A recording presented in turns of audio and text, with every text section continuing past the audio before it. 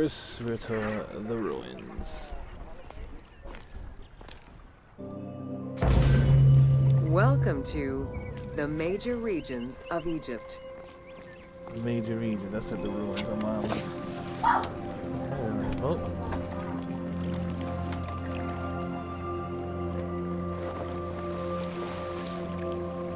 Oh, that's fine. I gotta do this.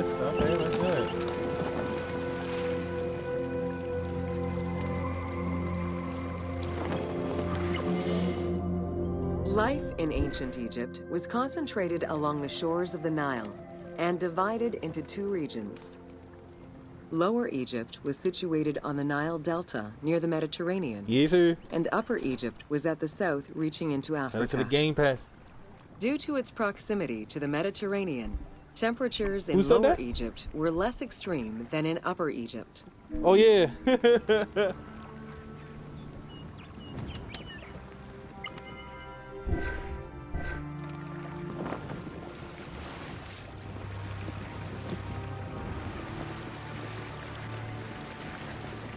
dead nigga the front of my boat. I don't know, but we still out here touring. Fuck it.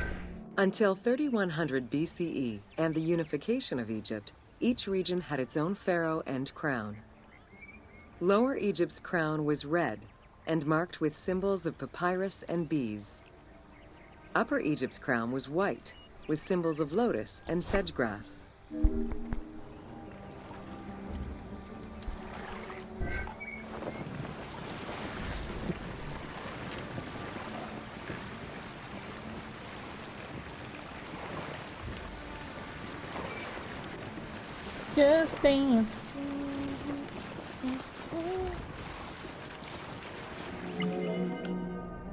Both regions had competing major cities, most notably Memphis in Lower Egypt and Thebes in Upper Egypt. There were different religious cults in both regions, each worshipping their own major gods.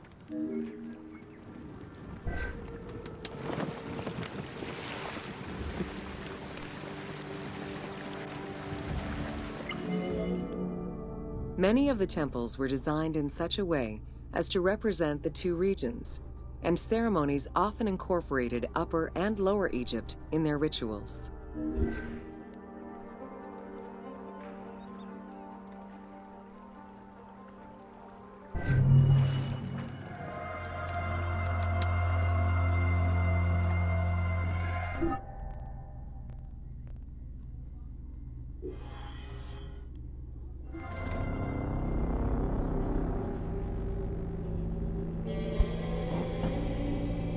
You know what game I'm looking forward to.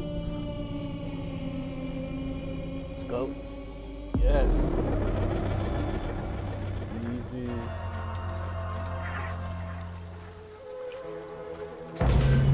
Welcome to Bringer of Life, the River Nile.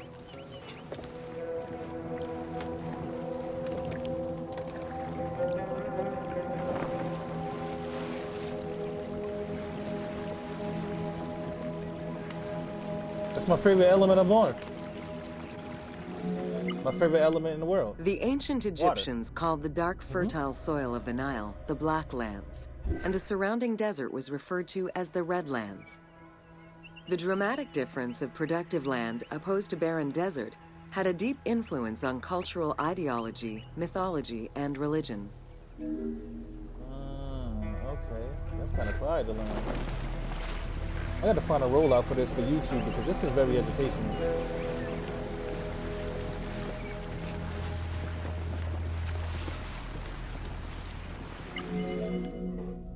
The Nile determined much of Egyptian civilization.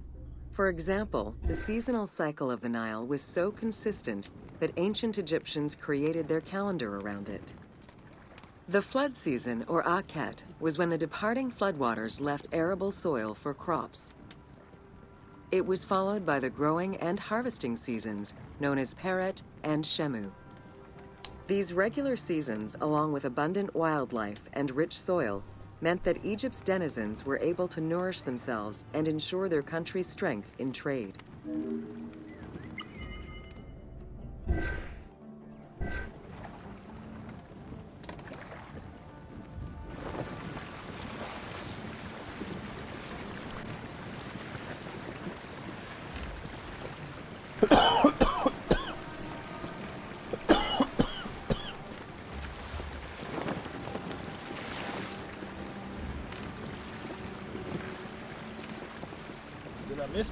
My, my, point?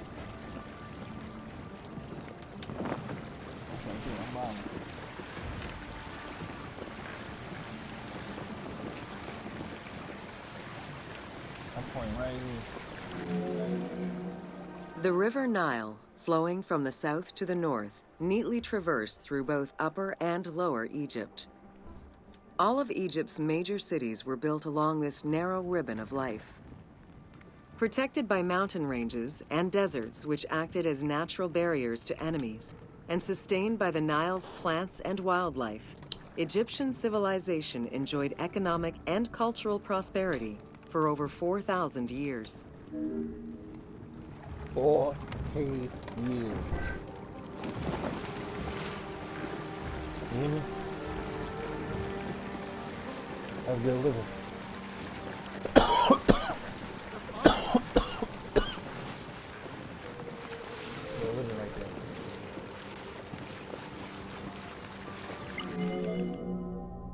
Both ancient Egyptians and ancient Greeks referred to the Nile as the river in their respective languages. Stretching a distance of over 6,700 kilometers, the Nile is one of the longest rivers in the world. It flows south to north, spanning 11 countries. The River Nile originates in the region of the Great Subequatorial Lakes, including one of the largest in the world, Lake Victoria near Tanzania.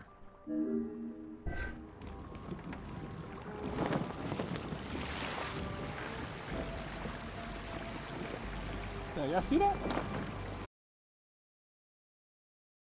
Y'all see the koi?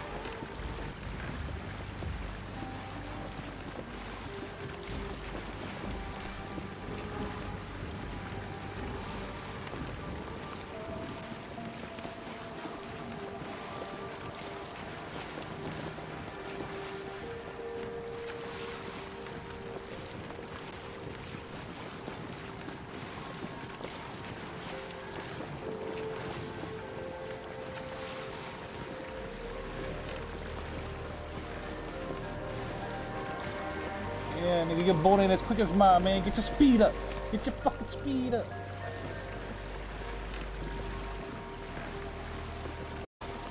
Yes, sir. Your boat ain't as quick as nigga.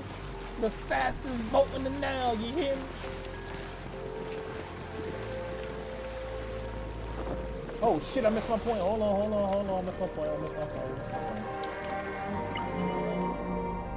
The river flows through African equatorial forests, swamps, volcanic lands, steppes, and deserts, splitting apart for a while and picking up various sediments from each region and carrying them all the way to Egypt.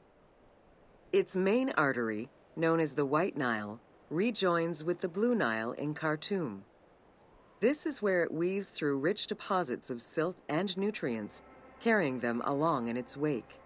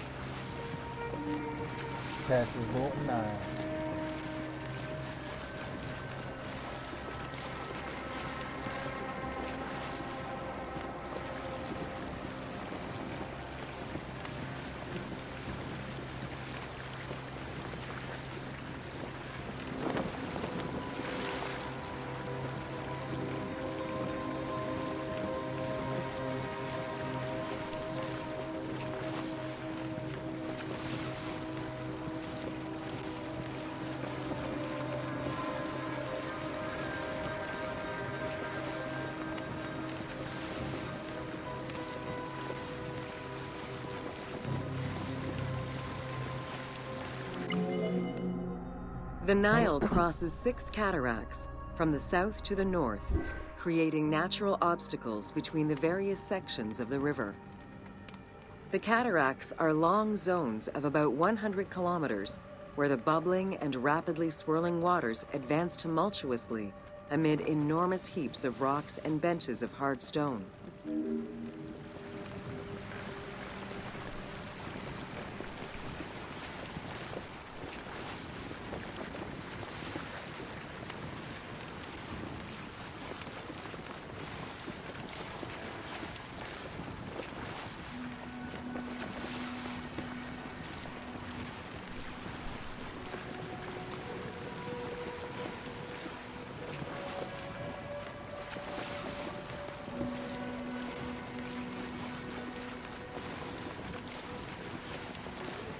I know better. I don't know why you trying. Oh, missed my point. Oh, there.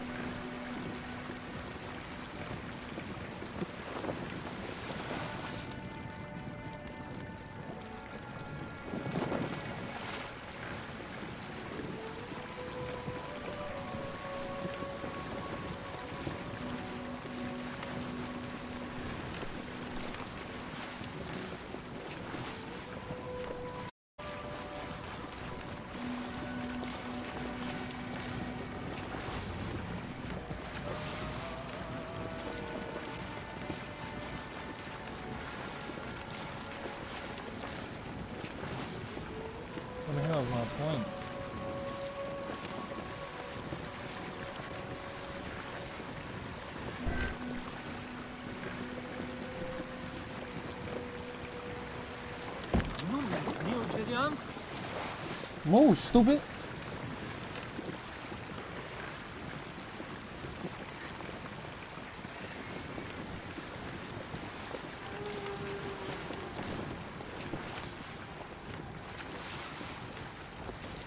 Where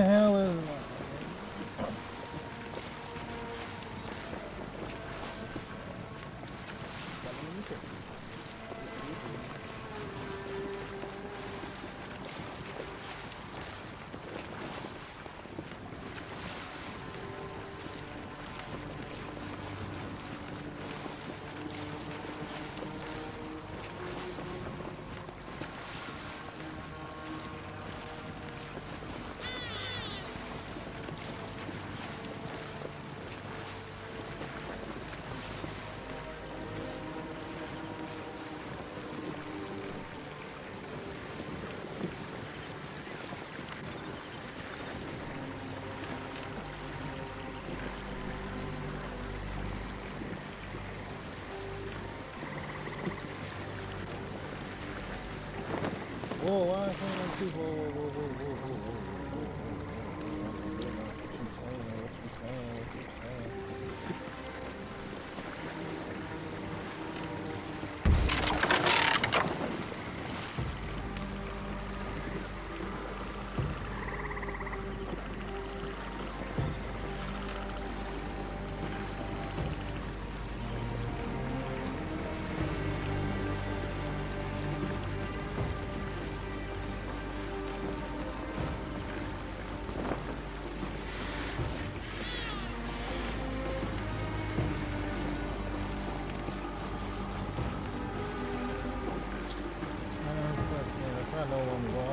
Past straight there. There's none of in water.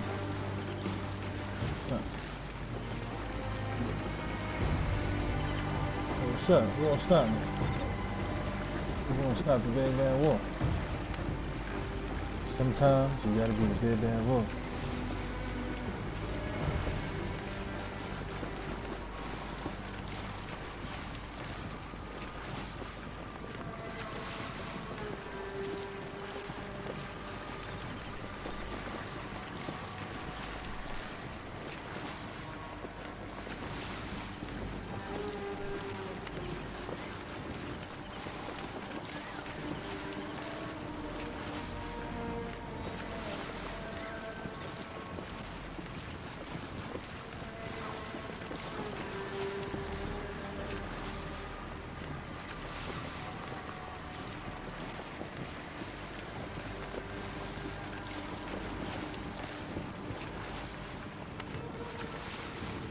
beautiful at night, they're also event.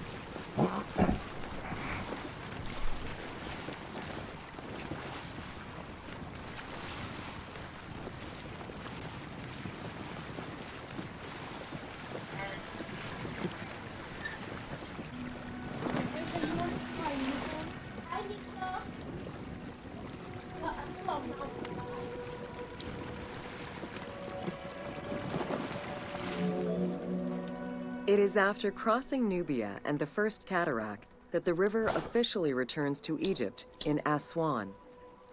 There are still a thousand kilometers before it reaches Cairo and the Delta, bringing life to those living on its shores before it eventually empties into the Mediterranean Sea.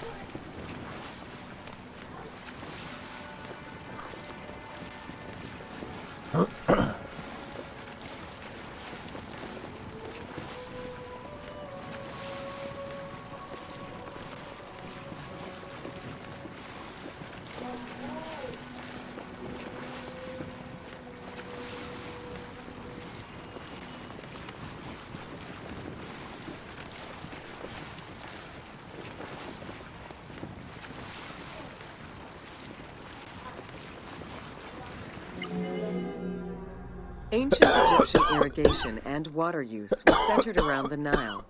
However, they also had access to streams and rivers, as well as several large lakes. The delta, situated at the north end of the Nile, also known as Lower Egypt, is a large irrigated area where the river splits into several tributaries.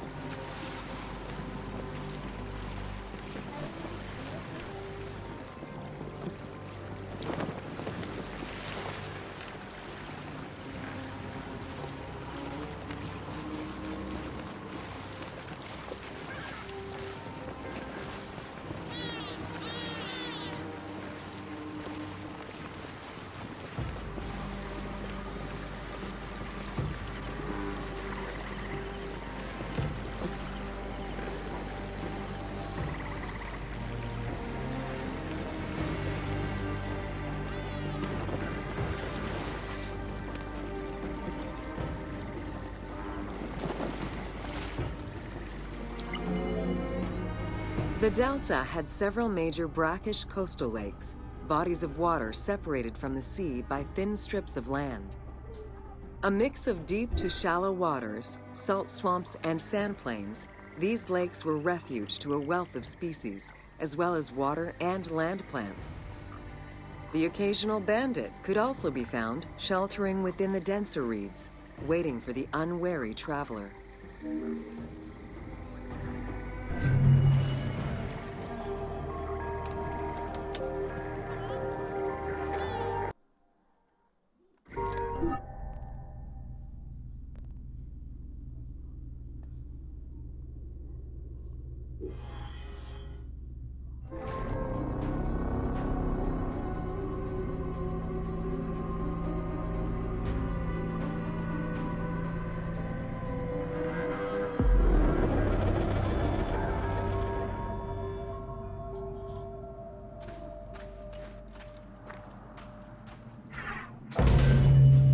Welcome to Deserts of Egypt.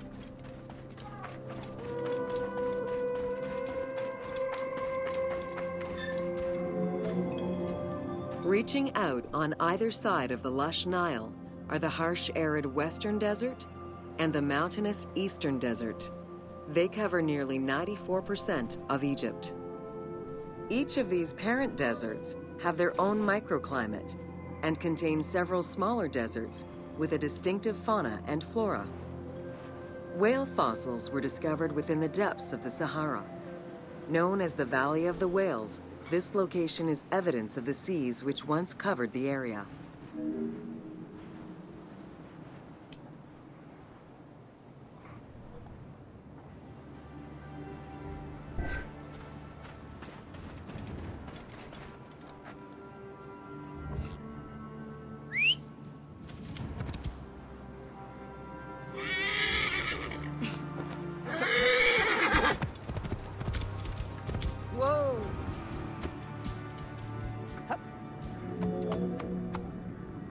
Desert in the northeast of the Sahara owes its name to its white limestone soil, contrasting with the yellow sand.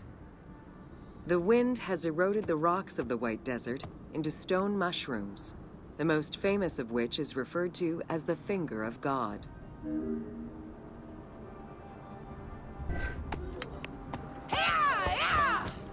Whoa! Whoa!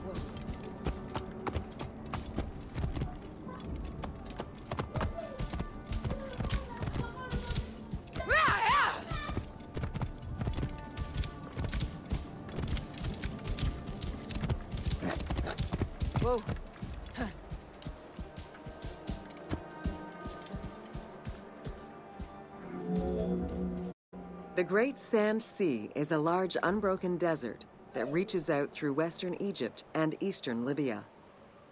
It is home to a unique geological formation known as Libyan silica glass.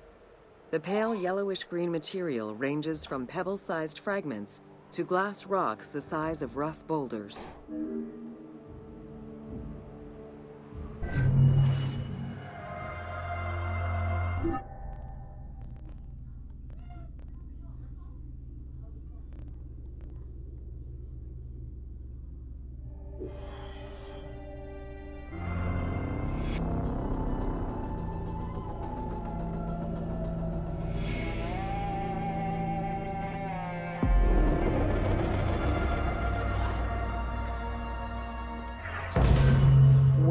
To the Qattara Depression.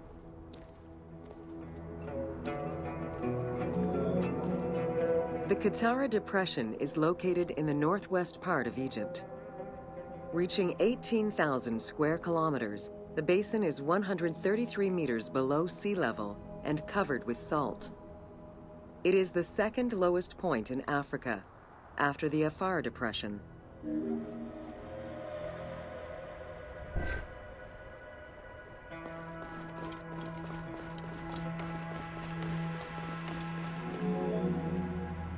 The climate is very arid, with average temperatures reaching 36 degrees Celsius. The famous Siwa Oasis is located on the protected southwestern region.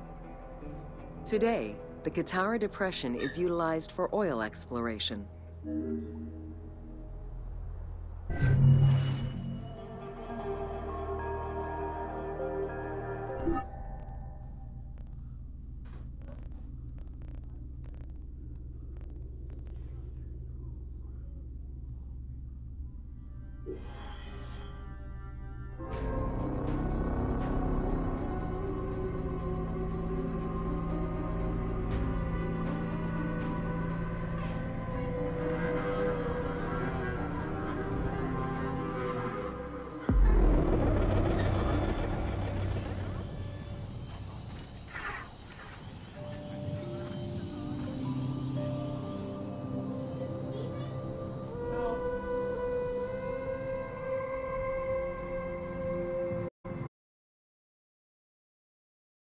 To Siwa.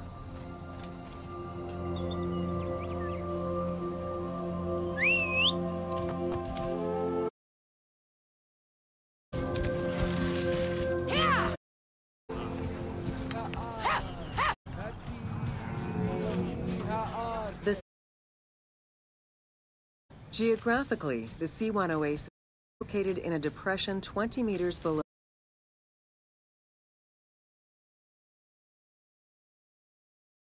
The area's isolation resulted in a unique society and language.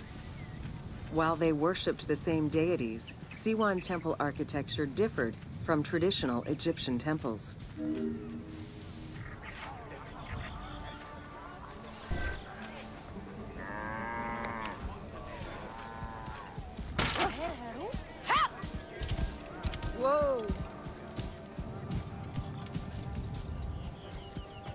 Pause. Old Kingdom Egyptians referred to the oasis as cauldron due to its unique geographical structure. Oases were crucial for nomadic tribes and caravans. Without them, there was no chance of survival in an otherwise harsh landscape. As such, oases quickly became hubs for trade, as well as areas of political control.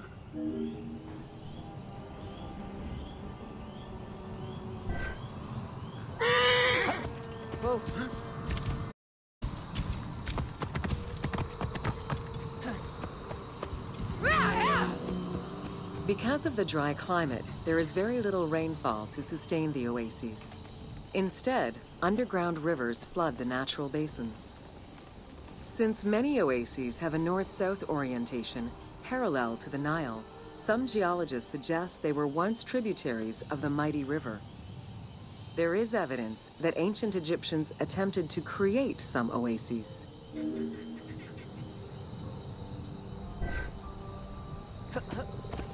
Whoa.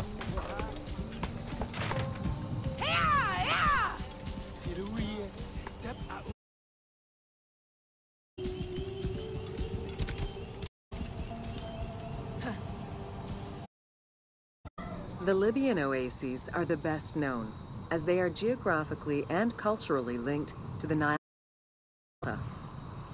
These western oases have a distinct geology from the other regions of Egypt. The most famous and important oases are Karga, Dakhla, Farafra, Baharia, and Siwa.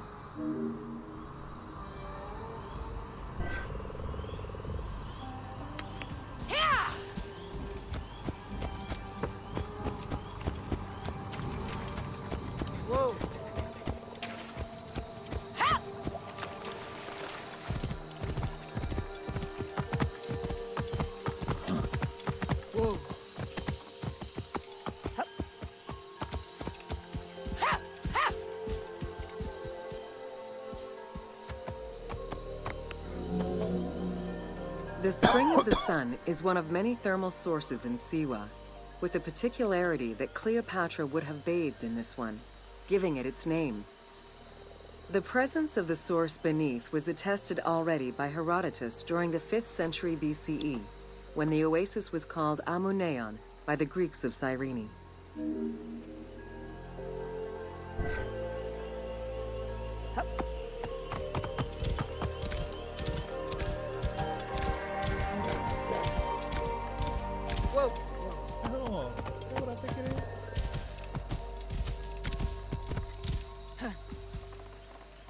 What I think it is. I know niggas be out here barbecue. Niggas been barbecuing since days of times. Okay, okay, okay, okay.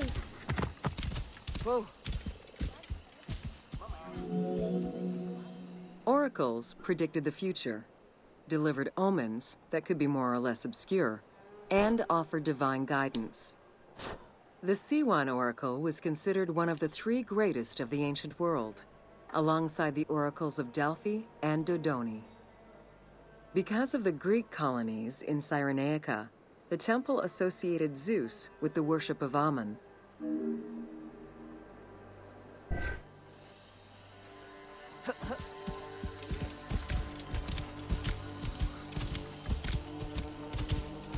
Whoa. It is no wonder that Alexander the Great made the perilous journey to Siwa in order to consult the oracle, emulating the actions of mythical heroes such as Hercules and Perseus. This action earned the approval of the oracle, who validated his claim as Pharaoh of Egypt. He was confirmed as the son of Ammon, conferring upon him the most legitimate claim to date of all Egypt's foreign invaders.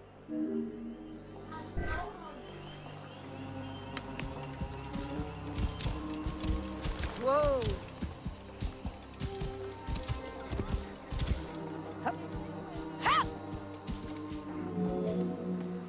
The powerful and the rich would send gifts or travel great distances in order to ensure their good fortune by gaining the blessing of the Oracle of Siwa.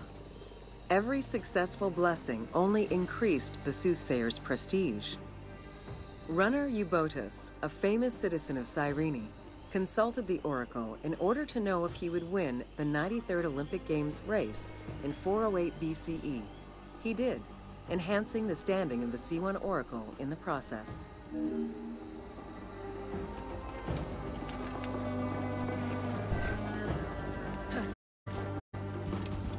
Whoa.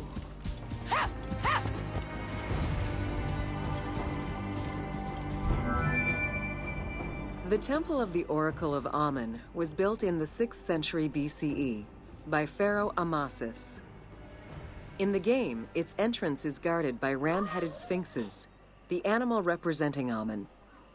They were inspired by similar statuary located at the British Museum. Another option would have a Greek-influenced representation of Zeus Amun, a human-headed this representation of Zeus Amun was very popular in Siwa.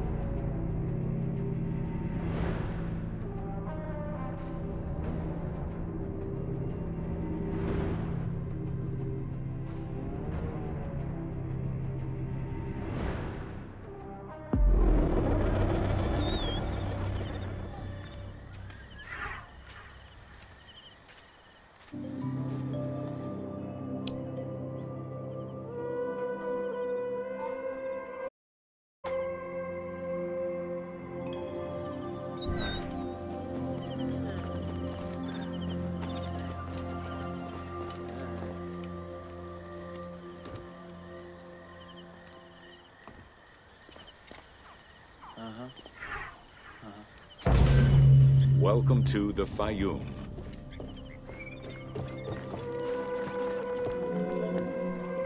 The Fayoum Oasis is an enormous basin in the western desert that formed from the Nile's overflow.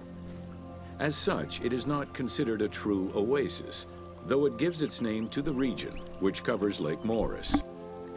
The oasis harbors some of the oldest archaeological artifacts of the region, indicating that the area has been inhabited by hunters and gatherers since the Neolithic period.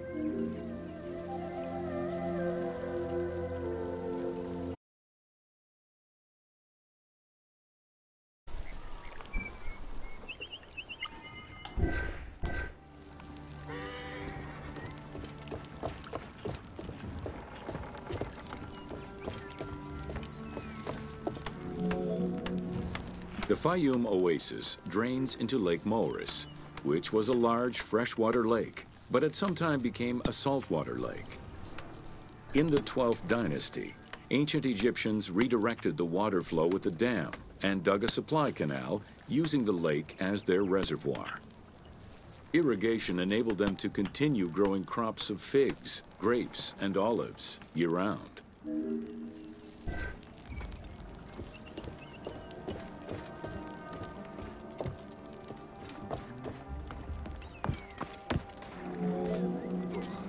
Reed boats, feluccas, triremes, and kerkouros were the most commonly found craft within the landlocked waters of Egypt. They were used for various purposes, ranging from daily fishing, trade, warfare, and travel, to the ferrying of massive stone blocks used to build the great monuments of Egypt.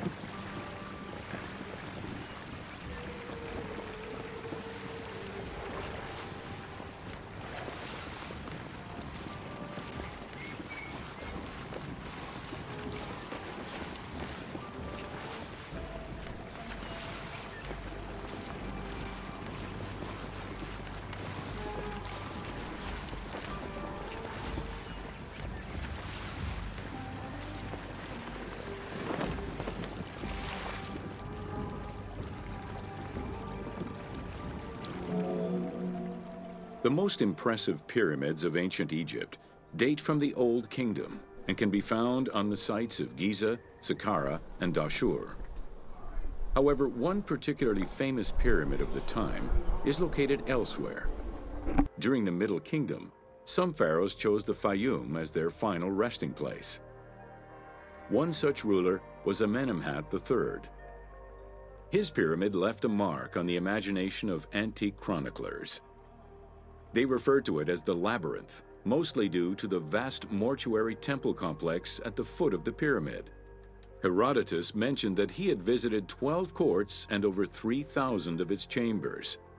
But he was also well known for being prone to hyperbole.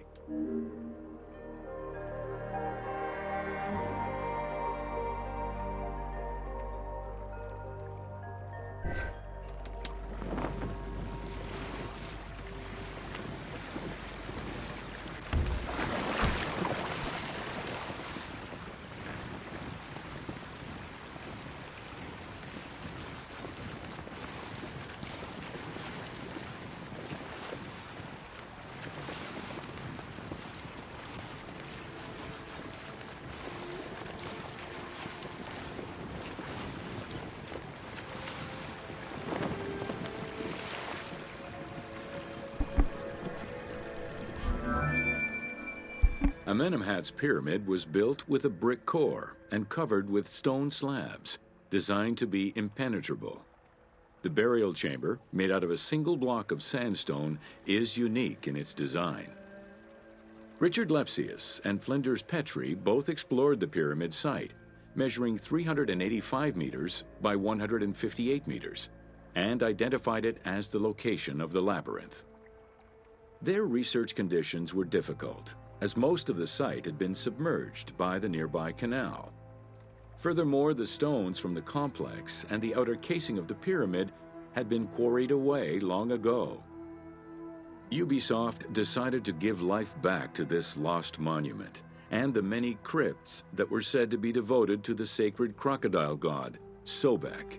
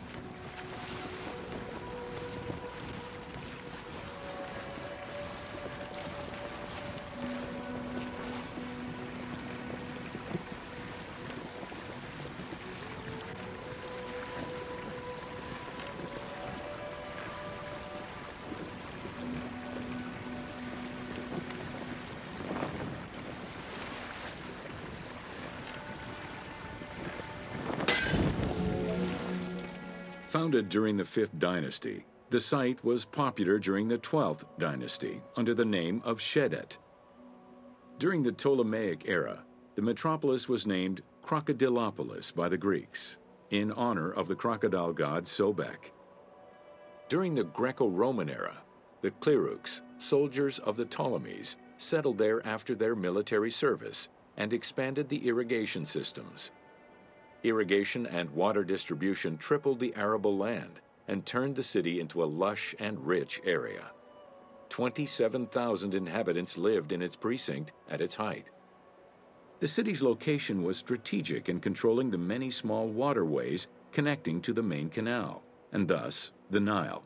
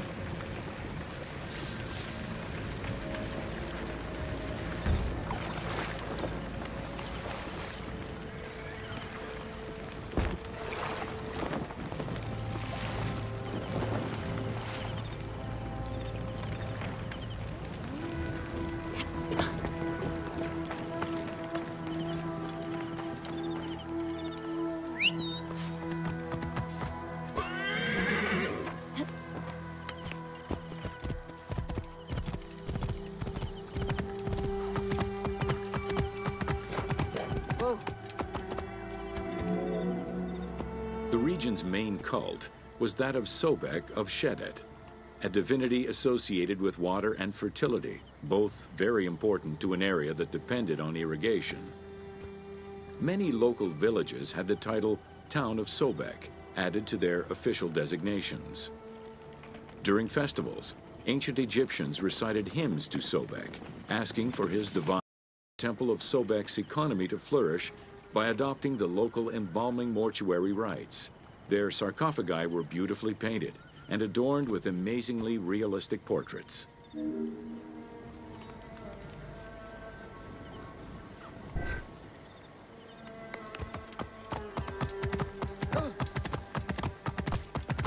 Pause.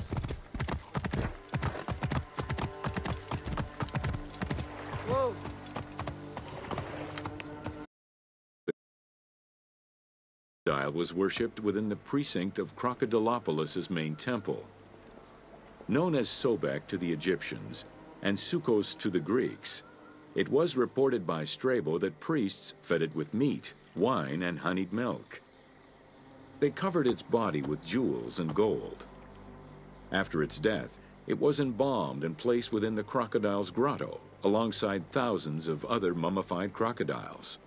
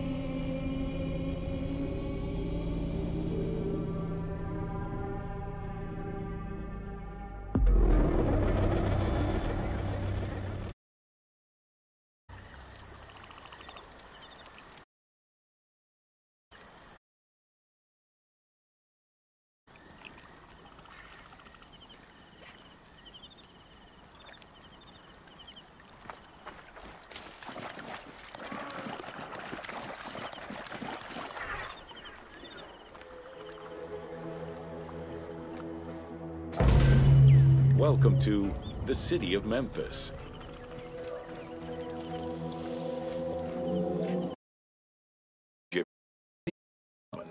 They were situated along the Nile's shores.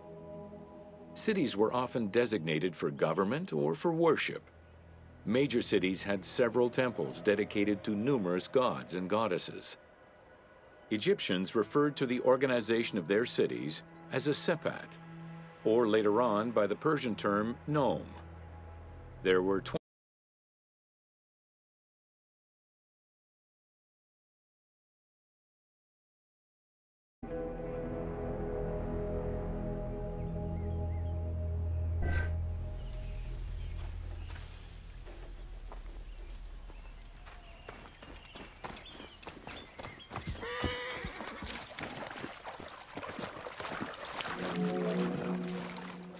of the largest was Memphis, located in Lower Egypt. It was a key center for religious temples, including their most important deity, Ptah, god of creation. Thebes, located in Upper Egypt, competed with Memphis and featured as both a political and a religious center. Two important temples, Luxor and Karnak, were built there. A minor capital of the Saite dynasty was the city of Sais, this was the last native Egyptian capital of Egypt.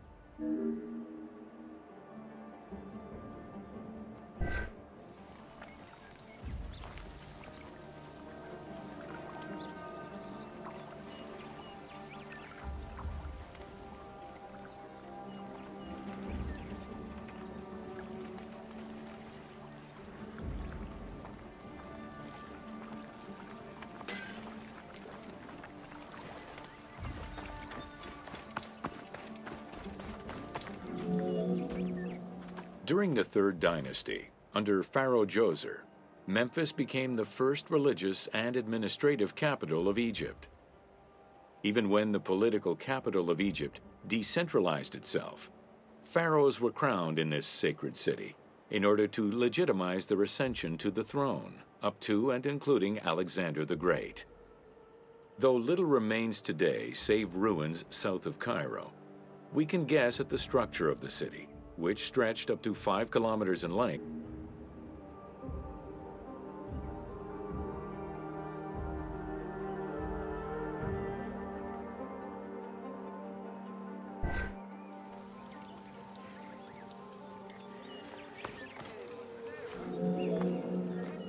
Memphis was also referred to as the city with the hundred doors, or the white walls.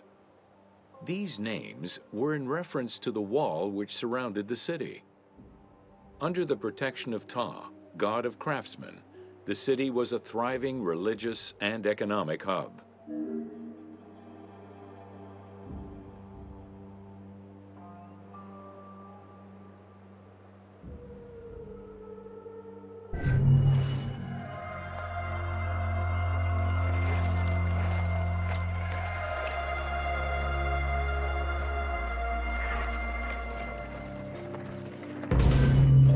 Welcome to Artisans. It was under the watchful eye of Ptah of Memphis, the god of craft and architecture, that ancient Egyptians developed the unique rendition of the world they lived in. However, it is vital to understand that their view of art and those who created it was likely very dissimilar to the modern concept of the word. Instead of artists, the creative culture had skilled and respected artisans. The most significant categories of specialties for crafters were drawing, painting, sculpture,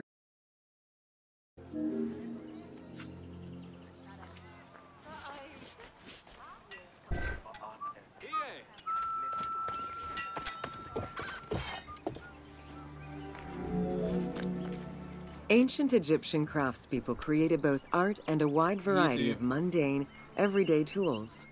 Every item created had a specific purpose and was produced by anonymous artisans who worked alone or with a team. Most crafts, such as pottery and metalworking, were utilized for everyday items. Luxury goods Fuck and artwork alligator come from? illustrations served temple rituals and were not meant for public display. Artisans rarely signed their names to the work, though they were clearly aware that they possessed a unique skill and talent for the task. Bro, what the fuck y'all want me to back up with this alligator in front of me? Oh. Art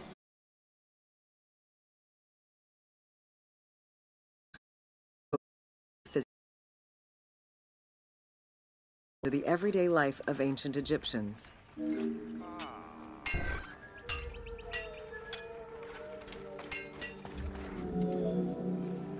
In ancient Egyptian culture, drawing was used as illustration, such as seen in the Book of the Dead. It was also the first step in the creation of a relief. Two-dimensional representations were concerned with order and form, and were intended to honor gods and promote the transition of the soul to the afterlife.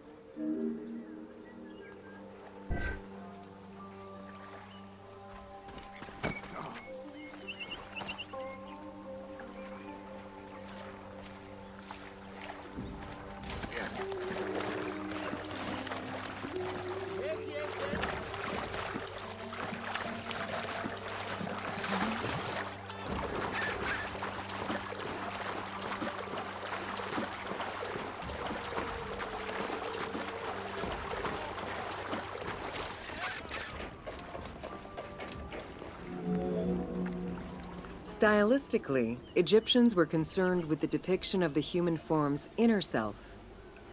As such, artistic representation realized youth and perfectly harmonious visuals.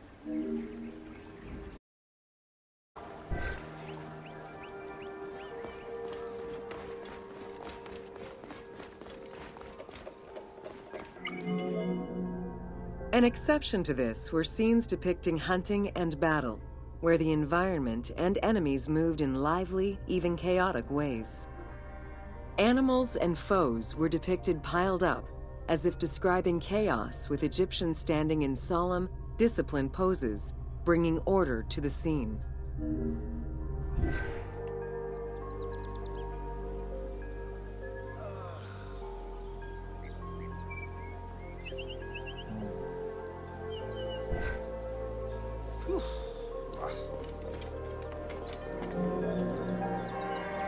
Could be either in high relief or low relief. Either method required a surface suited to the desired technique. Preparation of the surfaces differed depending on the quality of the rock. A quarried block only needed a simple smoothing. Rough cut rock monuments, such as those found in tombs, required work. Often the surface was coated in plaster before being sculpted.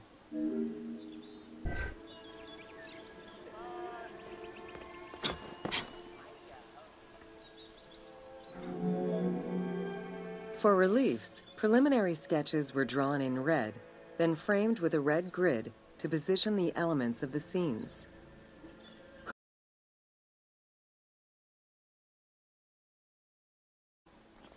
This method likely is the one who draws the outline.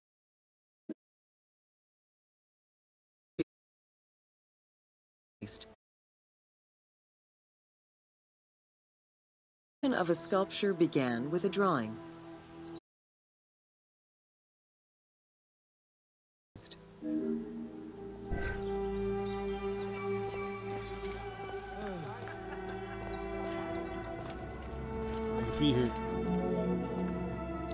In ancient Egypt, the profession of crafter was organized and relied on a specific hierarchy. Most artisans depended on an institution to provide them with raw materials. For craftsmanship, domestic temple workshops. Some royal workshops, at their largest, covered an area of about 2.8 square kilometers in size.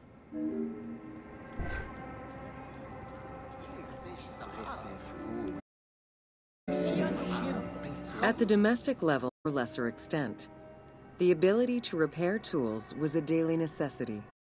Crafted everyday items could also be bartered for at the local market. Artisans with skills but lacking in resources worked at large estates, where the elite provided them with space to work and raw materials. The most skilled artisans were employed in royal or temple projects and benefited from a special status. They were provided with good workspaces and considered to be highly skilled.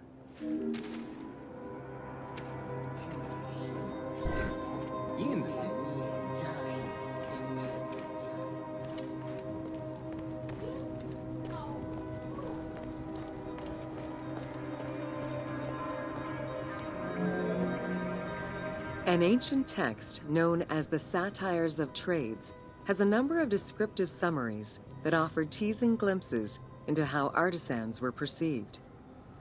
A coppersmith was said to stink and have fingers that resembled crocodile droppings, while potters were said to be like highlight the most enviable position of all, that of the scribe.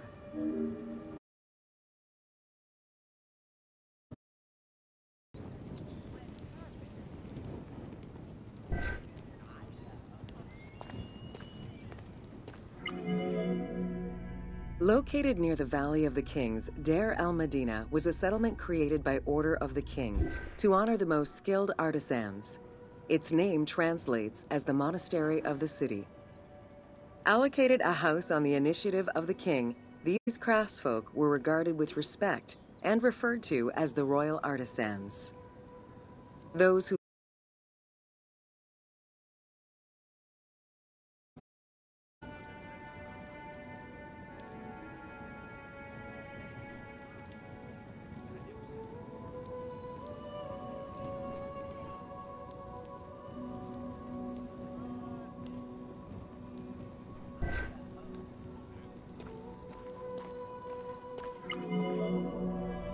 Archaeologists believe the site was home to skilled and respected artisans for over 100 years. It is considered discoveries relating to Egyptian daily life, while much valuable window into the community life of ancient Egyptian artisans.